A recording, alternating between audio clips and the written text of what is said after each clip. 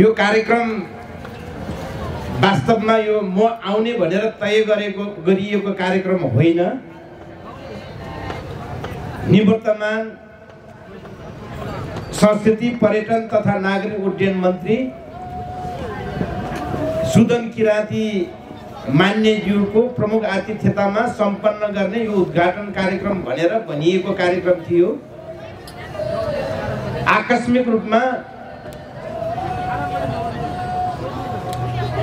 केही दिन अघि मात्रै मन्त्री परिषदको हेरफेर र पुनर्गठन भइसकेपछि मान्य सुदत किराँतीको ठाउँमा मलाई जिम्मेवारी दिइसकेपछि र हाम्रो आयोजक मित्रहरू मसँग पनि परिचित र सम्बन्धित भएको कारणले यस कार्यक्रममा म प्रमुख अतिथिको रूपमा उपस्थित भएको छु। त्यस कारणले पनि म यो आयोजक टिमसँग खुसी छु। मात्रै बेखुसी कुन अर्थमा छु भने म समयको चापमा छु। कार्यक्रमहरू धेरै छन्। मेरो ठुलो व्यस्तताको अवस्था छ कार्यव्यस्तताको अवस्था छ। जसको कारणले गर्दाखेरि मैले यहाँहरूको बिचमा धेरै समय लिएर यहाँहरूको सांस्कृतिक प्रस्तुतिहरू श्रवण गर्न र चाहिँ सांस्कृतिक प्रस्तुतिहरू अवलोकन गर्न मलाई समय मिलिरहेको छैन। यद्यपि पनि म के भन्न चाहन्छु भने यो उद्घाटन कार्यक्रम भएको कारणले गर्दाखेरि म यो कार्यक्रम सफलताको म शुभकामना व्यक्त गर्न चाहन्छु। यो कार्यक्रम तिन दिने बृहत लोसार महोत्सवको रूपमा मेलाको रूपमा आयोजना गरिएको छ। यो लोसार पर्व अठाइस अठाइस सय साठौँ यो सोनाम लोसार। एवं यो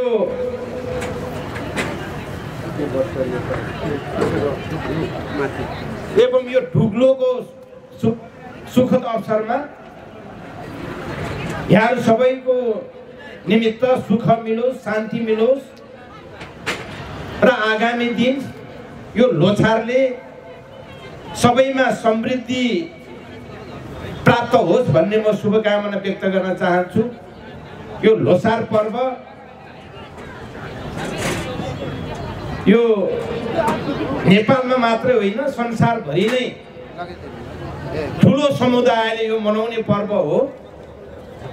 त्यसमाथि पनि यो सोनाम लोसार नेपालको तामाङ समुदायले मुख्यत तामाङ समुदायले र अन्य समुदायले पनि मान्ने पर्व भएको हुनाले यो बागमती प्रदेश तामाङहरूको बाहुल्यता रहेको प्रदेश त्यस अर्थमा यो बागमती प्रदेशको प्रमुख चाडमध्येमा एउटा चाड पनि हो।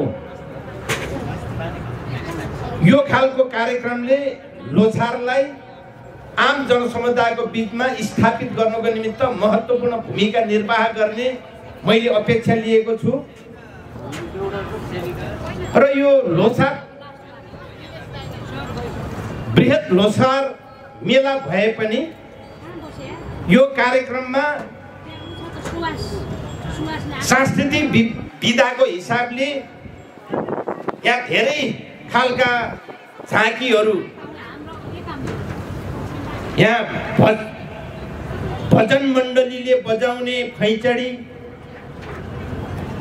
यो झाँक्री समुदायले मनाउने अथवा बोन बोन्बो समुदाय बोन्बोहरूले मनाउ के अरे बजाउने झ्याग्रो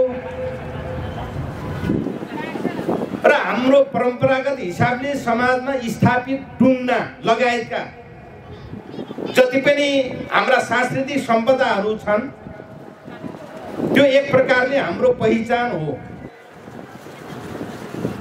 हाम्रो समाज कस्तो छ एक प्रकारले भन्ने भनेदेखि इन्द्रिणीको इन्द्रिणी जस्तो समाज छ। मुलुक सानो छ तर यो सानो मुलुकभित्र पनि धेरै खालका हाम्रो चाहिँ जातीय समुदायहरू छन् धार्मिक सम्प्रदायहरू छन् सांस्कृतिक विविधताहरू छन्। यद्यपि पनि फेरि एउटा अर्को सुन्दर पक्ष के हो भने यसमा सहिष्णुता छ। यसमा सामाजिक मेलमिलाप छ। र एकले अर्कालाई सम्मान गर्छ। र मिलेर बस्नुपर्छ भन्ने प्रेरणा पनि दिन्छ। यो कुरालाई हाम्रो यो यो खालको कार्यक्रमले अझ यो भावनालाई अझ समृद्ध बनाउने अझ हाम्रो एकता सद्भाव र सहिष्णुतालाई अझ उत्प्रेरित गर्ने काम पनि यो मेलाले गर्छ भन्ने मैले अपेक्षा लिएको छु। यति भनिसकेपछि म धेरै कुरा नभनिकन फेरि पनि अब यो यहाँ अघि नै भजन मण्डलीका प्रमुख नायक अब उहाँको नाम त मलाई थाहा भएन। अब मलाई मेरो कार्यकाल सफलताको लागि शुभकामना पनि दिनुभएको छ। र मबाट केही अपेक्षा पनि राख्नु भएको छ। त्यसको लागि अब हामी व्यक्ति विशेषमा भन्दा पनि फेरि उहाँहरूले व्यक्ति विशेषको हिसाबले के अपेक्षा राख्नुभएको भन्ने कुरामा पनि म बुझ्दछु। तर के भने यो सङ्गीतकर्मी सङ्घमा जसरी इन्द्रिणीको चाहिँ आकारमा जसरी विविध खालका सङ्गीतकर्मीहरूलाई समेट्ने काम गरेको छ र आफ्नो सङ्गीत आफ्नो संस्कृति आफ्नो परम्परालाई अझ समृद्ध बनाउने अझ त्यसको चाहिँ परिमार्जन सहित आजको समाजको माग र चाहिँ आवश्यकता अनुसार त्यसलाई विकास गर्ने हिसाबले जुन काम सोच्नु भएको छ। त्यसमा मेरो पनि सैद्धान्तिक हिसाबले सहमत छँदैछ। व्यवहारिक हिसाबले पनि मैले के गर्न सक्छु कसो गर्न सक्छु त्यसबारेमा मैले सोच्ने नै छु भन्ने कुराको सङ्कल्प र प्रतिबद्धता व्यक्त गर्दै फेरि पनि तपाईँहरूको यो लोसार बृहत तिन दिने यो बृहत लोसार मेला भव्यतापूर्वक सम्पन्न हुने अपेक्षा राखेको छु। त्यसको लागि शुभकामना व्यक्त गर्दै म आफ्नो भनाइले यहीँ अन्त्य गर्न चाहन्छु। हस्त धन्यवाद।